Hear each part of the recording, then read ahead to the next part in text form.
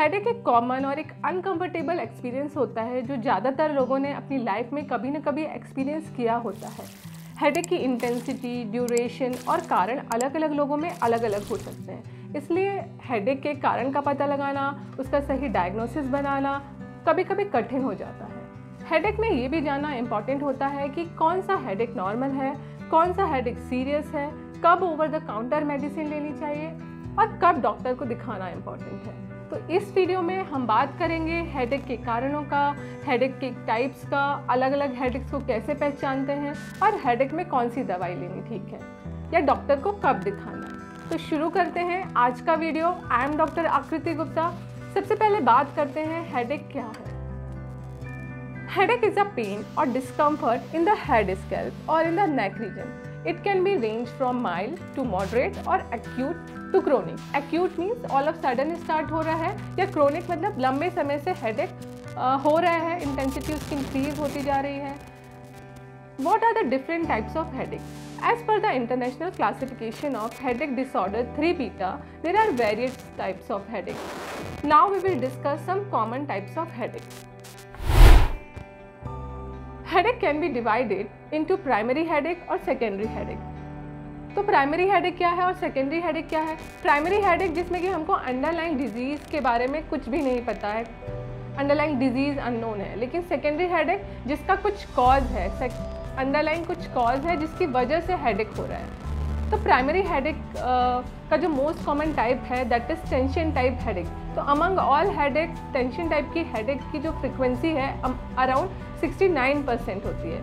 Second most common is migraine migraine की frequency around 16 percent होती है, जो कि टेंशन टाइप हेडेक से चार गुना से भी कम है. तो सामान्यतः जो हमें हेडेक होते हैं, वो टेंशन टाइप हेडेक होते हैं. देन रेस्ट आर रेयर जो बहुत कम देखने को मिलते हैं, जो प्राइमरी हेडेक के टाइप्स हैं like idiopathic stabbing exertional headache और क्लस्टर हेडेक फिर आता है secondary type headache secondary type headache में कुछ कॉज हो सकता है, जैसे infection systemic infection most common cause है। सेकेंडरी हेडेक का इसकी फ्रिक्वेंसी अराउंड 63 परसेंट होती है। या फिर हेड इंजरी की वजह से हो सकता है वस्कुलर डिसऑर्डर हेमरेज या ब्रेन ट्यूमर की वजह से भी हेडेक होते हैं। Now come to the triggering factor कुछ ऐसे फैक्टर्स होते हैं जिनकी वजह से हमको हेडेक होने लगता है। तो understanding of the causes of headache एक क्रूशियल है for managing and preventing the headache both तो हेडेक को uh, कौन कौन से फैक्टर्स ट्रिगर्स करते हैं? ट्रिगर uh, करते हैं लाइक स्ट्रेस और एनजाइटी तो हमें पता है कि हाई स्ट्रेस लेवल है या एनजाइटी है उसकी वजह से भी हेडेक और माइग्रेन हो सकता है। नेक्स्ट इज़ डाइट या डिहाइड्रेशन जैसे कि यदि हम अपनी स्किप कर दें मील या फिर हम कुछ ऐसे सर्टेन फ़ूड कंज्यूम करें, जिसकी वजह से हेडेक हो सकता है, या नॉट ड्रिंकिंग इनफ वाटर यदि प्रॉपर अमाउंट में आप पानी नहीं ले रहे हैं, उसकी वजह से भी हेडेक हो सकता है। नेक्स्ट इज़ एनवायरमेंटल फैक्टर जैसे यदि लाउड नॉइज़ से एक्सपोजर होता है, या ब्राइट लाइट से एक्सपोजर होता है, कुछ स्ट्रॉन्ग ऑर्डर है, या वेदर चेंज होती है, इससे भी माइग्रेन ट्रिगर हो सकता है। नेक्स्ट इज़ स्लीप पैटर्न जो मुझे लगता है कि यंग एज में बहुत ही इंपॉर्टेंट है इरेगुलर स्लीप पैटर्न या स्लीप डेप्रीवेशन प्रॉपर स्लीप ना लेने से या ओवर स्लीपिंग से भी हेडेक ट्रिगर हो सकते हैं। नेक्स्ट इंपॉर्टेंट फैक्टर जो कि पर्टिकुलरली फीमेल्स में कॉमन है that is hormonal changes hormonal fluctuation during menstruation pregnancy या मैनोपॉज इनमें फीमेल्स में हेडेक ट्रिगर हो सकता है।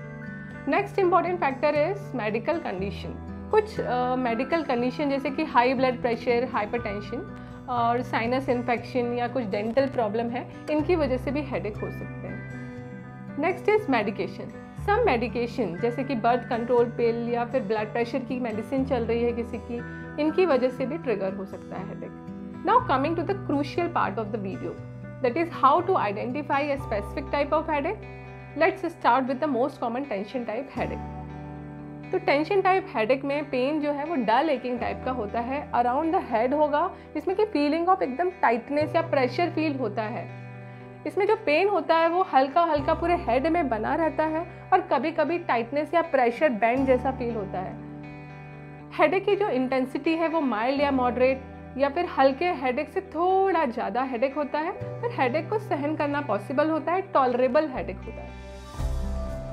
एक important characteristic feature tension type headache का ये भी है कि इसके साथ जो दूसरे फैक्टर्स हैं, जैसे कि जी मिचलाना वॉमिटिंग फोटोफोबिया मीन्स की लाइट देखने पे और दर्द का बढ़ जाना या आवाज़ से दर्द बढ़ना जिसे फोनोफोबिया कहते हैं, ये सारे लक्षण आपको टेंशन टाइप हेडेक में नहीं मिलेंगे। तो सामान्यतः जो हेडेक हैं, वो टेंशन टाइप हेडेक होते हैं, जो माइल्ड होते हैं। लेकिन कभी कभी हेडेक अपने आप भी ठीक हो जाते हैं और कभी कभी मेडिसिन लेने की ज़रूरत होती है। तो कॉमनली टेंशन टाइप हेडेक में हम क्या लेते हैं? पैरासीटामॉल एस्प्रिन या एनेसिड जैसे कि नैप्रोक्जेन एब्डूप्रोफिन इनको हम यूज़ कर सकते हैं। इसके साथ ही some other measures that can be taken to treat tension type headache we will discuss at the end तो आप वीडियो पे बने रहिए, आप पूरा वीडियो देखिए, हम इसे एंड में डिस्कस करेंगे. Next common headache is migraine जो यूनिलेटरल मतलब एक साइड में होता है, आधा सर दर्द करना. इसके साथ जी में चलाना जैसे कि नोज़िया वॉमिटिंग होती है. साथ ही फोटोफोबिया फोनोफोबिया जैसे सिम्टम्स देखने को मिलते हैं. तो माइग्रेन का डायग्नोसिस करने के लिए एक क्राइटेरिया है simplified diagnostic criteria for migraine इसमें रिपीटेड अटैक ऑफ़ हेडेक होते हैं, जो कि चार से बहत्तर घंटे तक पेशेंट्स में हो सकते हैं और फ़िज़िकल एग्जामिनेशन नॉर्मल आता है। And no other reasonable cause for the headache हमें कोई और कॉज नहीं मिलेगा। इसके साथ ही हमको at least two of the following features मिलेंगे। जैसे कि आधा सर दर्द करना या थ्रोबिंग हेडेक होना या मूवमेंट से हेडेक एग्रीवेट होना मॉडरेट और सीवियर इंटेंसिटी का हेडेक ये चार सिम्टम्स में हमको एटलीस्ट टू मिलेंगे। साथ ही हमको फॉलोइंग सिम्टम्स में से एक मिलेगा, जैसे कि या तो नोजिया वॉमिटिंग या फोटोफोबिया या फोनोफोबिया इनमें से हमको एक सिम्टम्स मिलेगा। तो अगर एक महीने में पंद्रह दिनों से ज़्यादा माइग्रेन का अटैक आता है तो इसे हम क्रोनिक माइग्रेन कहते हैं। इसलिए माइग्रेन में जब बार बार सिर में दर्द होता है तो एक डायरी मेंटेन करने की एडवाइस दी जाती है। माइग्रेन ट्रीटमेंट में एक्यूट अटैक के लिए एनेसिड जैसे कि नैप्रोक्जोन एप्रोप्रोफिन ट्रिप्टेन यूज़ होता है। क्रोनिक माइग्रेन के लिए प्रिवेंटिव मेडिसिन भी लेनी होती है। Next is less common headache which is cluster headache तो overall the population frequency of cluster headache is around point one percent इसमें दर्द डीप होता है, आँखों के पीछे की तरफ़ दर्द होता है इंटेंसिटी में हमें बहुत ज़्यादा होता है, दर्द होता है। इसे कहते हैं कि एक्सक्रूशिएटिंग इन इंटेंसिटी और एक्सप्लोसिव इन क्वालिटी तो करेक्टरिस्टिक फीचर जो है क्लस्टर हेडेक का इसमें पीरियोडिसिटी मिलती है। मतलब एक पर्टिकुलर समय पर कम से कम एक अटैक डेली होता है। इसके साथ ही एक साइड में आँसू आना नजल कंजेशन होना कभी कभी पलकों का झुकाव, ये सब हमको क्लस्टर हेडेक में मिल सकते हैं। Then some other types of headache primary headache are primary cough headache जो कफ के साथ शुरू होता है। देन प्राइमरी एक्सरसाइज हेडेक जिसमें कफ हेडेक या माइग्रेन दोनों के फीचर्स मिल सकते हैं। और ये किसी भी फॉर्म ऑफ़ एक्सरसाइज के साथ हो सकता है। Next is cold stimulus headache कुछ लोगों को कोल्ड एक्सपीरियंस करने के साथ हेडेक स्टार्ट होता है, जो 10 मिनट से 30 मिनट में रिजॉल्व भी हो जाता है। Now coming to the secondary headache secondary headache जैसा कि मैंने बताया कि कुछ उसका कॉज होगा, जैसे कि infection due to brain infection so कहते हैं मैनिंजाइटिस मैनिंजाइटिस में फीवर हेडेक और नेक पेन या नेक स्टिफनेस ये तीन कैरेक्टर्स मिलते हैं एक साथ। सेकेंडरी हेडेक में next type of headache is due to intracranial haemorrhage तो इंट्राक्रेनियल हेमरेज एक्यूट ऑनसेट का होता है ऑल ऑफ़ सडन मतलब कि अचानक से सिर में दर्द शुरू होता है और लाइफ का वर्स हेडेक होता है, जो अपनी पीक इंटेंसिटी में विद इन फाइव मिनट्स पहुँच जाता है और फाइव मिनट्स तक बना रहता है.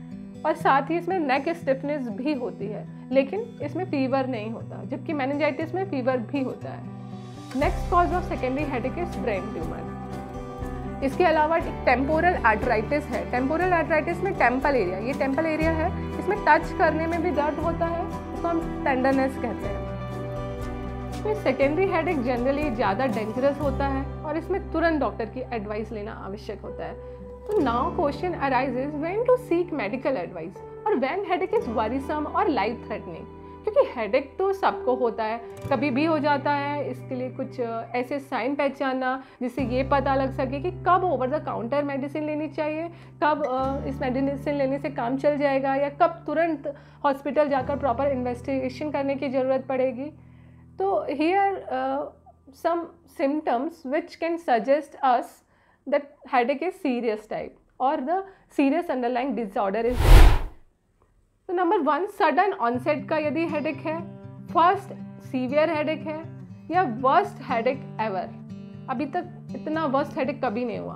वॉमिटिंग दैट प्रीसीड्स हेडेक या सब एक्यूट वर्सनिंग हो रही है ओवर डेज़ या वीक्स के साथ हेडेक और वर्सन होता जा रहा है। पेन इंड्यूस हो रहा है, जैसे कि बेंडिंग करने पे या कुछ लिफ्टिंग करने पे टॉपिंग करने पे पेन इंड्यूस हो रहा है।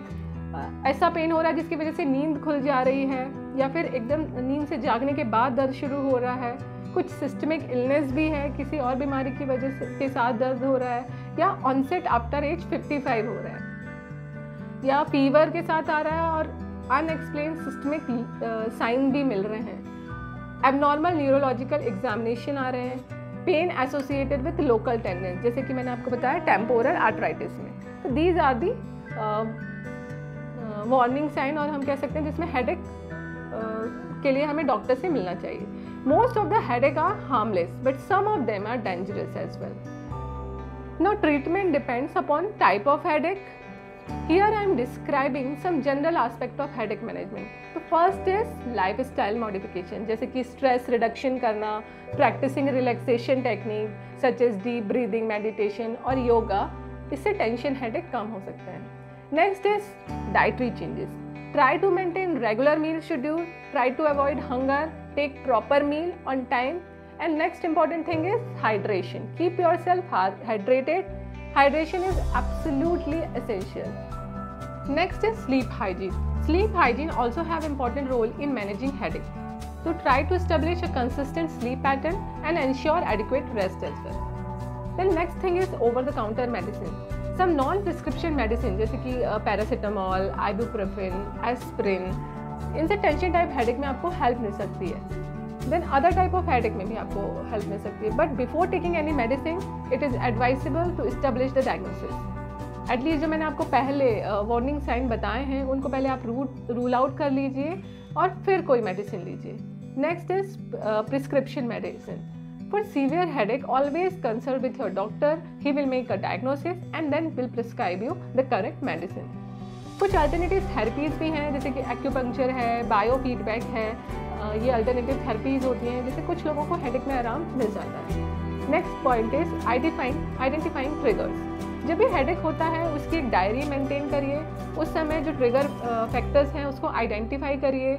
और इनिशियल पार्ट में मैंने जो आपको फैक्टर्स बताए थे, उनको आइडेंटिफाई करने की कोशिश करिए। डायट्री डायरी मेंटेन करने से आपको ट्रिगर आइडेंटिफिकेशन में हेल्प मिलेगा। तो आज की वीडियो में हमने जाना कि हेडेक क्या होता है हेडेक के टाइप्स क्या होते हैं अलग अलग टाइप के हेडेक को डिफ्रेंशिएट कैसे करें हेडेक ट्रिगर क्या हो सकते हैं वार्निंग साइन ऑफ़ हेडेक को कैसे पहचानें। तो ये वीडियो एजुकेशनल पर्पज़ के लिए बनाया गया है।